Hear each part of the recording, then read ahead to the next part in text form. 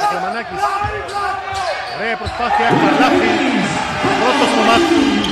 Κακλαμανάκης κράτησε, έδωσε για τον Ίγκλης. Σήκωσε Κακλαμανάκης εντυπωσιακά.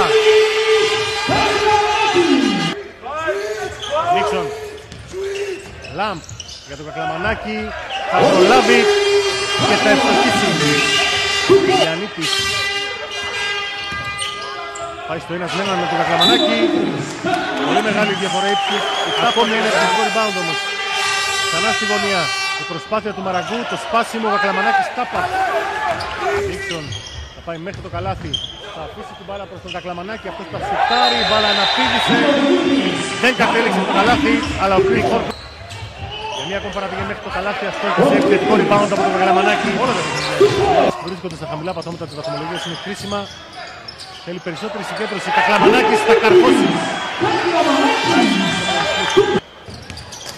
Λαμπ. Το κλέψιμο δεν ολοκληρώνεται από την προσπάθεια του Σάγκς. Του Ζέλογλου γκολ φάουλ. Η πάσα για τον Κακλαμανάκη.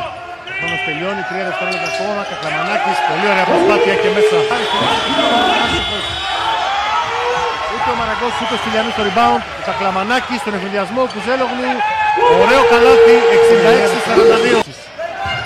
Έτσι κλείστηκε καλά, κατάφερε να περάσει την μπάλα για τον Κακλαμανάκη. Αυτό στη συνέχεια έδωσε για τον Λαμπ και έγινε απομονείται για τρεις για τον Κακλαμανάκη που θα πάει εντυπωσιακά για το κάρφωμα.